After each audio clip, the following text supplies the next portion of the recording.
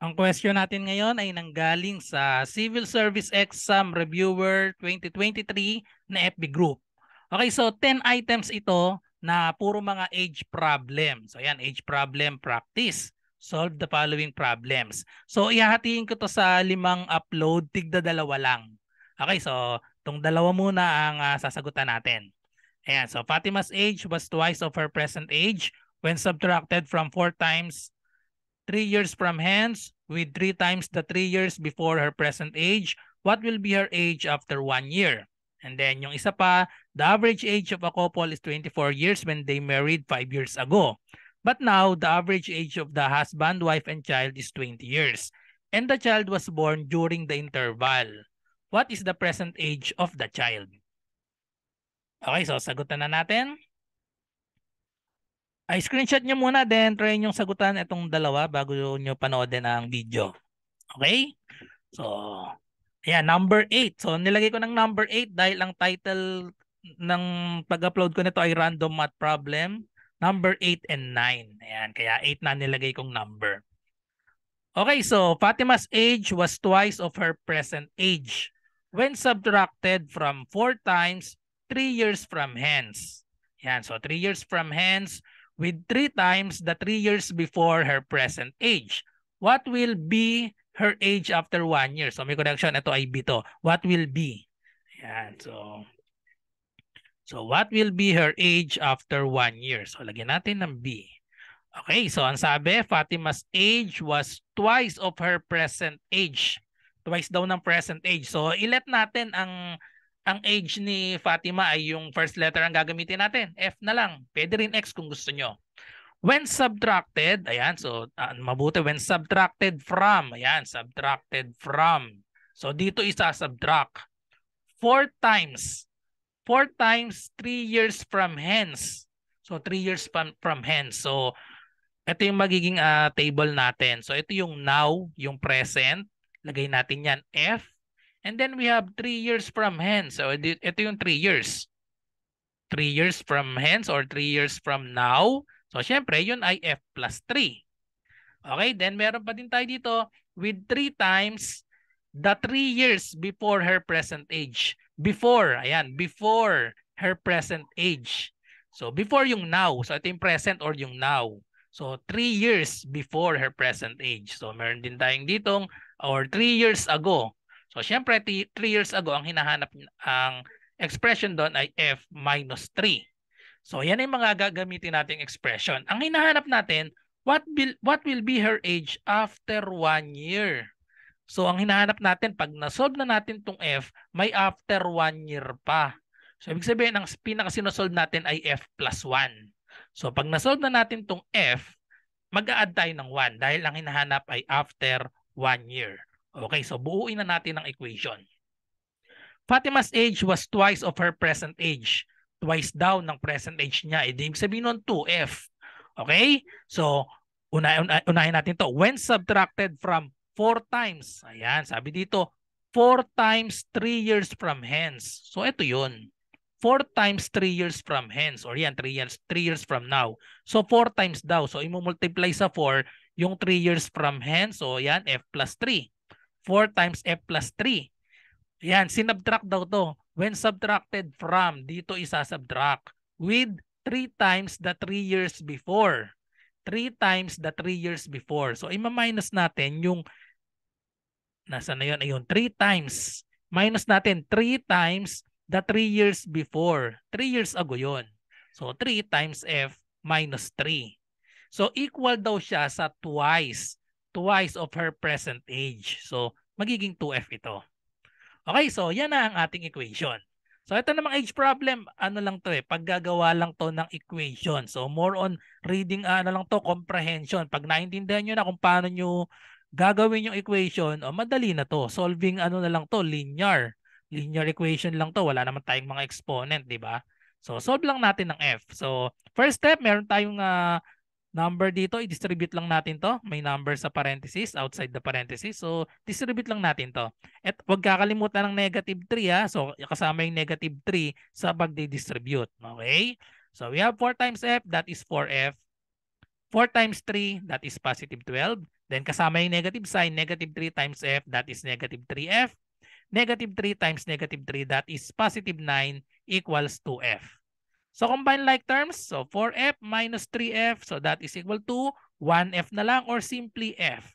12 plus 9, so that is equal to plus 12 plus 9, 21 equals 2f. Then, last step na, subtract f to both sides para mapagsama natin yung dalawang f. So yan, subtract f to both sides. So 21 is equal to 2f minus may 1 ito, 2f minus f. So that is equal to f. So ito na yung age ni Fatima at present. Pero again, ang hinahanap natin, what will be her age after one year? So after one year, ang age ni Fatima ay 21 plus plus 1. So the final answer is 22 years old which is letter letter B, 22 years old. Okay? So next number. The average age of a couple is 24 years when they are married 5 years ago. But now, the average age of the husband wife and child is 20 years. And the child was born during the interval. What is the present age of the child? Okay, so ang formula na gagamitin natin dito ay average. Kasi yan, average age eh. The average age of a couple, so couple, ibig sabihin, dalawa, is 24 years when they are when they are married 5 years ago. Okay? So, ilet natin yung age ni husband and wife ay X and Y na lang. Okay? Or para, sige, para hindi malito, husband and wife, eh di, ang average age, ilagay natin ay, ang formula ng average or mean ay summation of X over over N. Okay? Dalawa lang sila, kaya magiging, uh, ang average daw natin ay, gawin na lahat natin, sige, husband and wife. So, husband plus wife divided by 2 kasi dalawa lang sila ang average age daw nila ay 24. Okay? So 24, this is 5 years ago. 5 years ago yan.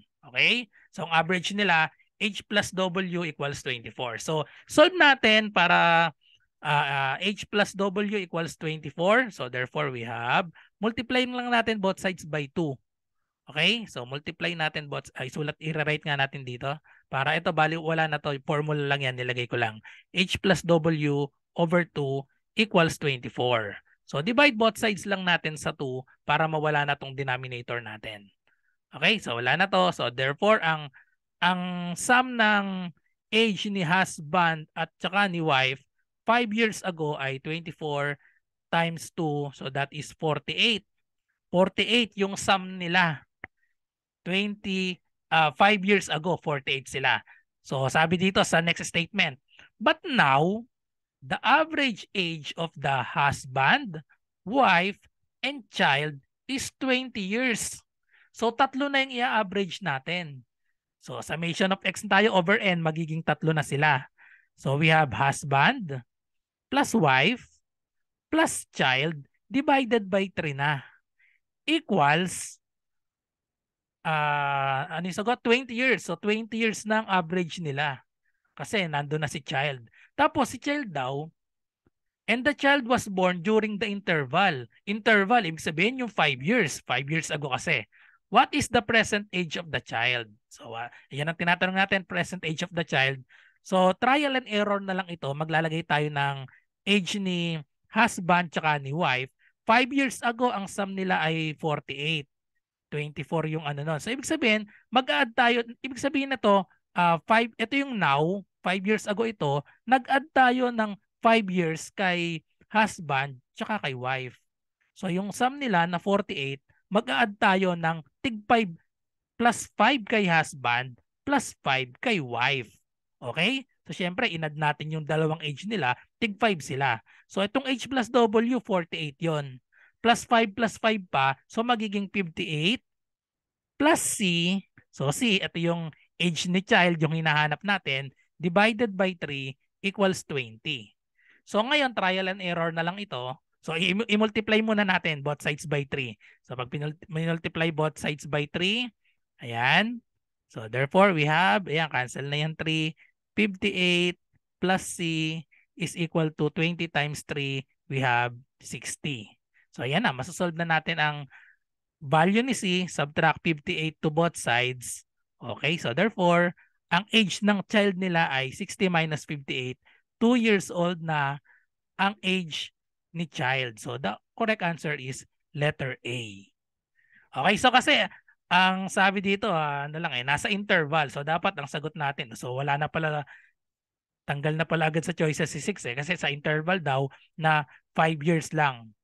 Okay, so ganyan yan ang pagsasolve ng ganitong problem kapag average. So ginamit lang natin ay average. Okay, so I hope nagustuhan yung explanation ng dalawang problems na ito, age problem. So thank you for watching and kita-kita tayo sa, sa susunod pa nating mga video tutorials tungkol sa math. Kung meron kayong question ay comment lang kayo dito sa YouTube channel or sa aking uh, messenger, sa FB group or sa GC. Okay, thank you for watching. Bye-bye and God bless.